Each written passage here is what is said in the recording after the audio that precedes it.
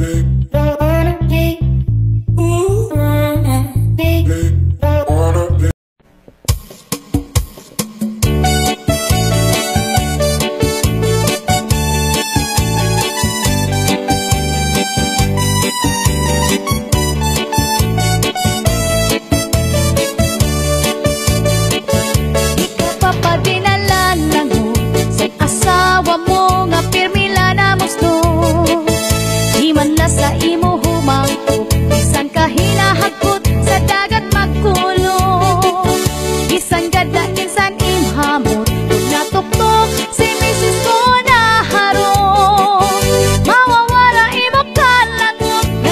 pagod sa iya madumog Ikaw ka pa dinalala mo sa asawa mo nga pirmila na musto?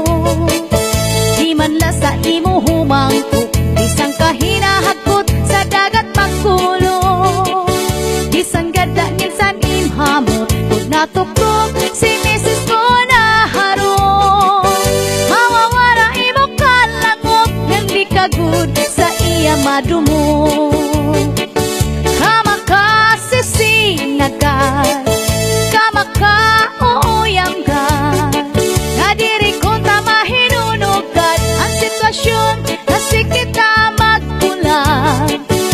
dejarlo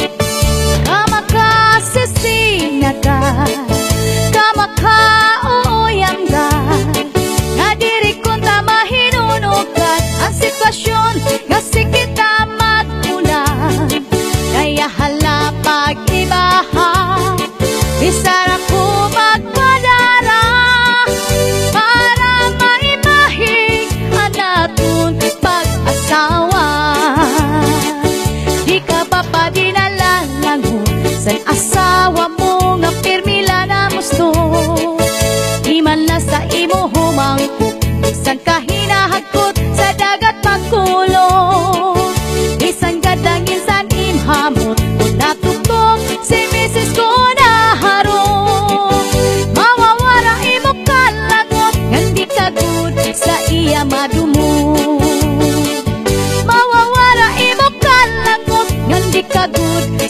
Ya madumu.